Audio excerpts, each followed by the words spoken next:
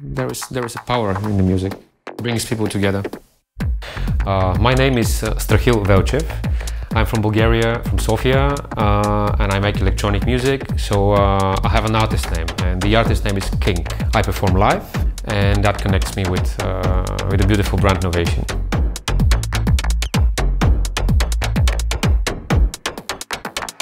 I'm mostly known with uh, rather danceable uh, electronic music I make, so I would say house and techno in general.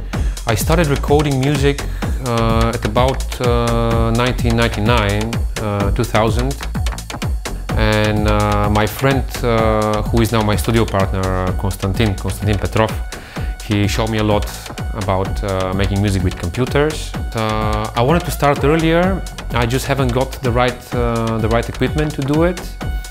And the urge to think about making music was uh, the fact that uh, when I listened to a lot of tracks, I, I thought that certain elements could be better, uh, certain parts of the music could be extended and I didn't really want to compose music. I just wanted to change the existing the existing uh, music I liked.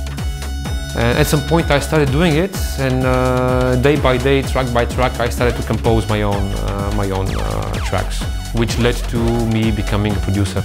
Uh, I'm afraid I'm a bit narrow-minded towards music because most of my life I've been listening mostly to dance music, uh, electronic music, and um, luckily I'm developing my, my taste. Uh, I'm expanding a bit. Uh, also because uh, my wife, uh, Rachel, she's a singer, songwriter, and uh, she uh, is outside of the electronic music field. and when I got into the music, I was basically strictly holding on to house techno, breakbeat, jungle, all the, all the subgenres of, of the electronic music. Uh, and now, uh, when I make dance music, uh, what I do is still very rooted to, to my origins, but uh, I'm expanding. Uh, and what um, uh, changed in the past couple of years was since I perform live, my music is, is less programmed, it's less numeric. When you count to four, not always something happens. Uh, because I get very inspired by uh, not only the music I listen to, but uh, also the music I make live on stage.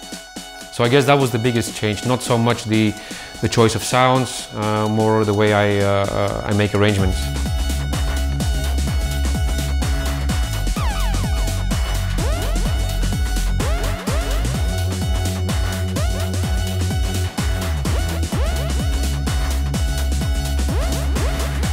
Oh, now what gives me inspiration uh, to make music? Uh, basically everything uh, gives me inspiration. Um, uh, life, um, good experiences, bad experiences. I'm basically uh, living in a country where uh, there are a lot of problems.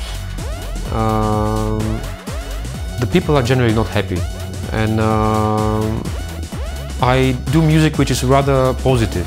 Uh, sometimes I make tracks which are very aggressive, uh, but then I do, do, also tracks which are extremely happy. And uh, I guess that's a reaction to the general sadness in the area I live in. And then, you know, meeting friends, making wonderful gigs, listening to live acts and DJs around the world before and after my show.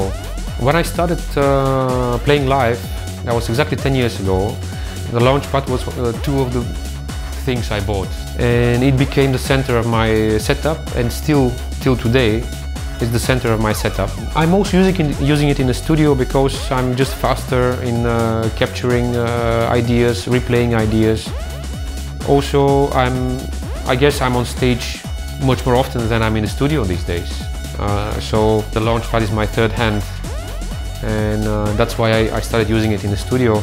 I don't know if there was no Launchpad, maybe I would still perform live, but it would, it would be very different.